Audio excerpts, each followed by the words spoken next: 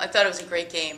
Um, I think, you know, we did, we did a great job. I think our defense was good, our rebounding was great, we were plus four, intensity was great. Um, C sitting next to me, just a phenomenal job as a point today, 15 points, but even more than that, just great leadership um, and defense.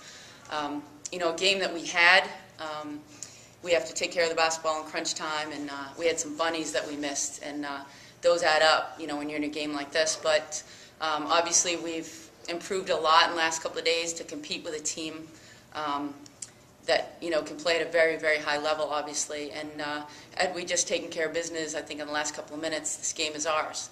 So um, it's important that we now take this game and build build on it.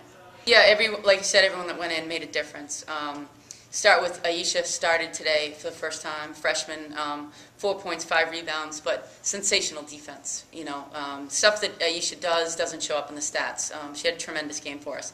And uh, Jazz double double, um, M eight and six, uh, Meg six and four. Uh, Carolann, as we spoke about earlier, 15 points, uh, two rebounds, and four assists. Uh, Shaq off the bench, 17 and five, and then uh, Tex coming in and getting uh, three points for us. So um, we didn't play many, um, but as the ones we played, I think, made a huge difference when they went in.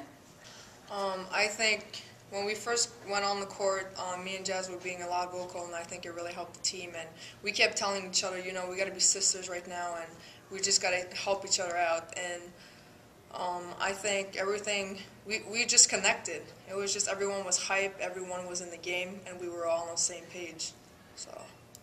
Um, again, that was a lot. Uh, we had to pay attention to the scout that Jen did for us, and and I think every time a new girl would sub in, be, would be like, okay, this is number three, this is what she does, or watch number 14, she's a shooter. You know, we would talk a lot. I think that's what helped us both offense and defensively, just being vocal and being ready. I don't know. That's what I was telling the girls. I was like, you know what? We lost this game, but it's not a bad loss. You know, we played well. We changed.